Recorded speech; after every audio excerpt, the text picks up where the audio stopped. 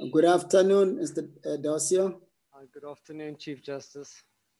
Are you well, sir? I'm very well. I hope you're well too. I'm very well, thank you. Um, you were prosecutor, district court magistrate, regional court magistrate. Um, give us the total number of years over which you were a prosecutor and then magistrate, both district and regional. Um, I've been in the profession for 30 years, Chief Justice. Well, for how many years as a prosecutor and for how many years as a magistrate? It was five years as a public prosecutor, five years as a district magistrate, and it's 20 years as a regional magistrate, of which um, basically 11 and a half, 12 years were in the criminal regional court, and the remaining uh, basically seven and a half, eight years were in the civil regional court in Johannesburg. Yes. And um, for how many terms have you acted as a, as a High Court judge? Well, in total now it's uh, about 17 months and about two weeks. I've served quite a few full terms and then intermittently for five week periods at a time, um, either in the criminal or in the civil division. Thank you. Uh, um, colleagues, may I have your names, please? Those who have questions.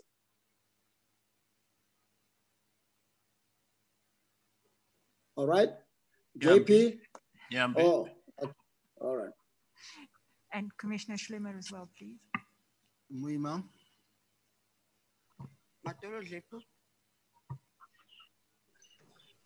Maya.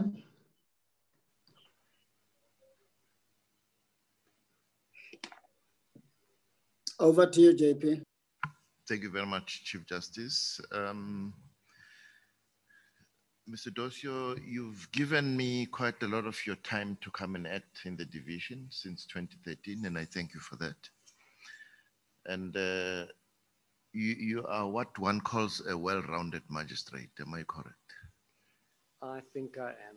In the sense that you've dealt with criminal matters as well as civil matters. That's quite correct, JP. Right. And that what that is borne out by is the spreadsheet of work allocations, which shows you've acted for 70 weeks, seven zero, That's in the correct. division. And you've done your fair share of heavy lifting work, especially in opposed motions. You've done six full weeks there. That's correct. The full court matters, full court appeals you've set in. Have you written any of those judgments there? Well, JP, in, in all the five weeks that I did sit, uh, for those weeks, I did write every single one of the full bench. Two were criminal, two were civil. Yes.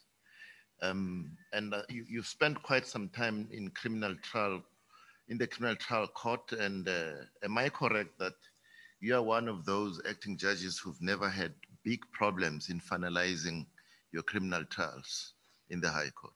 Not at all, JP. I think 51 judgments are handed down in the criminal court, which were mostly trials. Yes. And um, I think it was just basically trying to expedite the matter and trying to speak to the counsel. Let's try and get this done as soon as possible. Yes.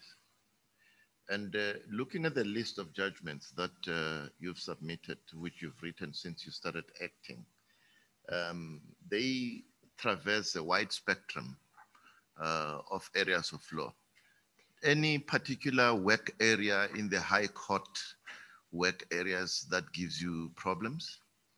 Um, I think um, over the years I've been very fortunate in that you've allowed me to give to have quite an all-rounded experience in admin law, commercial, family, uh, delict, uh, criminal, constitutional. So I think I've been exposed to an all-rounded area. Yes. And uh, do you have any judgments that you've uh, reserved for longer than six months? I, I, my judgment's are always handed down uh, in, a, in an expeditious manner, with the exception of one, JP. Uh, this came to me by way of a special opposed motion, which was a three-day special opposed motion. It was a short over the six months.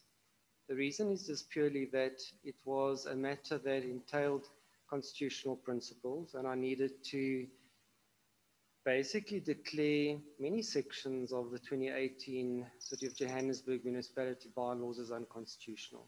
Yeah. And I spent time working on that judgment just purely because I knew it would go to the Supreme Court of Appeal and to the Constitutional Court, and it needed to be a very uh, well researched judgment. Yes. Um, one last question, CJ.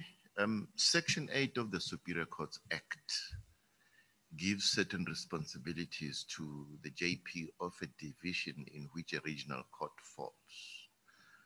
You are a regional court magistrate. Correct.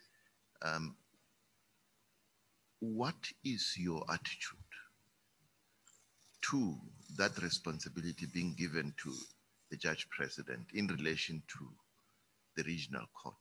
And the background of this question is the backlogs that one sees in terms of the finalization of criminal trials in the regional court. Every province, you can look at every PEEC report. Every province is not doing well in that regard from the regional court perspective. So I'm going back to the question I asked. You want to be a judge, you're a regional magistrate. What is, uh, do, do you think there's a role that the judge president can play To expedite matters, I presume, in the criminal courts. Yes. Well, in the regional court? in the regional court. Well, first of all, in the regional court, we do not have this continuous roll, which is, I believe, an impediment in finalizing matters expeditiously.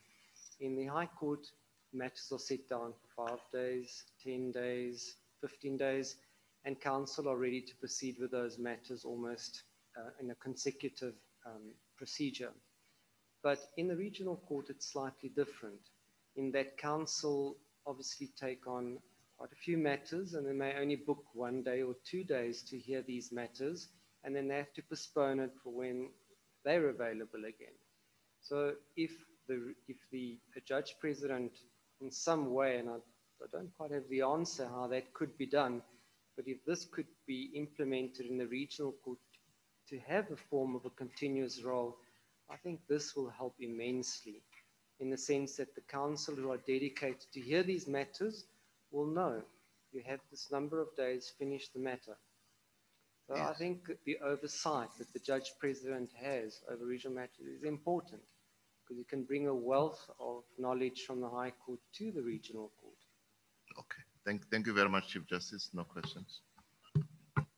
Thank you, JP. MEC? Thanks so much, Chief Justice. I'm covered. Thank you so much. Thank you very much, MEC. Uh, Honorable Nyambi? Uh, Afternoon.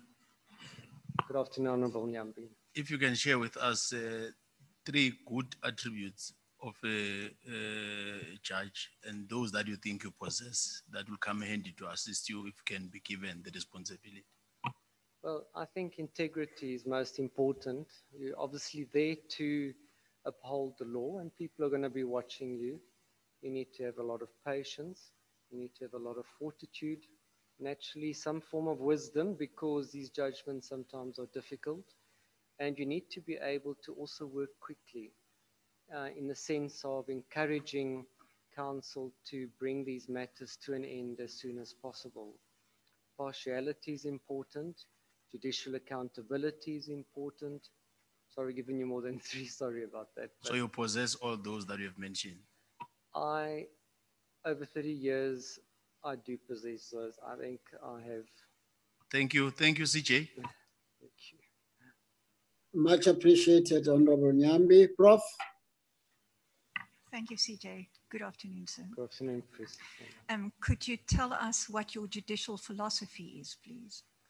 Well, I obviously apply the common law, statutory law, customary law, but always within the parameters and ambit of the Constitution. Obviously, there's a lot of schools of thought, whether you're liberal, moderate, or conservative. I think every matter needs to be considered on its merits. But I always look at the law I don't just apply it as it is, it has to be applied within the ambit of the Constitution. That's my philosophy. Thank you. And your view of, or your understanding of the rule of law? Well, the rule of law is that no one is above the law. So, be it a president, be it a person of authority, the law is there to govern everyone, irrespective of your position. And obviously, the rule of law, in a way, forms part and parcel with the separation of powers, in the sense that the rule of law also, to a certain extent, needs to be guarded to control those borders. Thank you very much. Thanks, CJ. Thank you, Priscilla. CJ, could I have a follow-up? Yes, please. Thank you, CJ. Good morning, Judge. Good morning. Just on your um, on the, the the issue that uh, Prof asked um, uh, uh, relating to your judicial um, philosophy and how you answered that all of this uh, in in when you when you apply or, or or interpret any of these laws, you do it within the ambit of the Constitution. Could you give us example of some of your judgments where this would have been done? Well, first of all, I had a very important judgment, which was S. Muhramedi, which was of a uh, traditional healer who killed his sister to complete the uh, initiation period to become a traditional uh, healer. And the charge was murder, and it was a gender based violence matter. And when it came to sentence, the sentence imposed by single judge was life imprisonment. It came to us in the form of um, compelling and substantial reasons to impose a lesser sentence than life. And notwithstanding the provisions of Section 13 of the Constitution, uh, sorry, 31 of the Constitution that allows the preservation of your religious and cultural rights, I penned that full court judgment and looked at the provisions of Section 10, which preserves the dignity of the person, and Section 11 of the Bill of Rights, which preserves the right to life. And I found that that uh, superseded the uh, preservation of religious and cultural beliefs. And in the other judgment that I penned, which was the full, uh, the special opposed motion, well, there there were a lot of issues that were, uh, because I declared it unconstitutional, I had to consider issues pertaining to Section 16 of the Bill of Rights, the right to freedom of expression, and related to billboards and, and advertisement signs. I had to consider Section 25, which dealt the right to freedom of the property, and numerous issues in that special opposed motions were considered, which all form part of the Bill of Rights.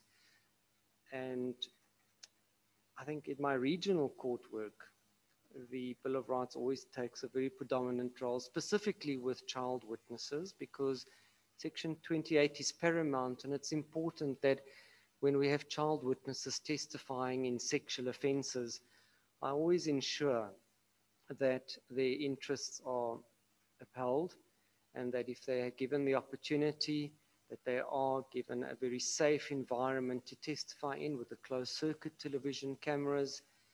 And obviously, you balance that with the interests of the accused in Section 35, but I always consider the interests of the children foremost. And yeah, so there's quite a few. Yes, but that's that's enough for now. Thank you, Thank Judge. you. Thank you, CJ. Thank you, Commissioner. Thank you. Uh, Honorable Muiman. Thank, thank you, Chief Justice. Good morning, Justice. Morning, Honorable Momang. The uh, question that I want to pose relates to to uh, putting us at ease in terms of uh, uh, reasons that you can advance uh, around uh, a matter where you said with uh, uh, Jatun Oh. uh, you refused leave to appeal, but the Supreme Court of Appeal uh, uh, set aside the the uh, the sentence because the state uh, misdirected itself to the three pre-sentencing reports. Sure. How, how, how, how, how did that escape the, I'll explain. The, this was a petition, so it was decided in chambers by myself and Judge Msimeki. We read the record, we discussed it. The regional court did not um, consider the correctional supervision reports. And the sentence was uh, eight years imprisonment. We felt it was an appropriate sentence. The judgment was taken on appeal to the Supreme Court of Appeal, and the Supreme Court of Appeal held that the regional court had misdirected itself for not having heard evidence of the three correctional supervision reports. So it sent it back to the High Court of Gauteng so that new evidence could be led. And that's how that arose. thank you, Chief Justice, thank you, Judge. Pleasure, Commissioner. Thank you, Honorable Mwema. Uh, Commissioner Dlepu. Uh, th- Thank you, Chief Justice, and good afternoon, uh, Good Judge. afternoon, Commissioner Lepo. I just see that one of the, the parties, the organizations that supported your application is the African Diaspora Forum. And the reason I'm, I'm, I wanted to, to tap into you, and I understand that you were, according to them, you're one of the board of trustees in 2017. What I wanted to find out from you, were the, the met, have you had a lot of matters that deals with immigration or refugee laws or asylum seeking coming before you? Or was it, were you just their advisor? I'm, I'm trying to, to, I'll explain to you the situation. There has been one or two in the unopposed roll that have appeared before me, but predominantly I feel quite strongly about xenophobia and Afrophobia. I just felt that I could impart some of my knowledge to assist in helping the the director of the African diaspora. There were many cases where people were assaulted. They had no avenue where to go, um, how to approach police stations, and with with the fact that the Refugees Act and Asylum Act are so important, I, I try to impart my knowledge that I have in respect to those particular acts to assist them further to try and expedite and ameliorate the finalization of those cases.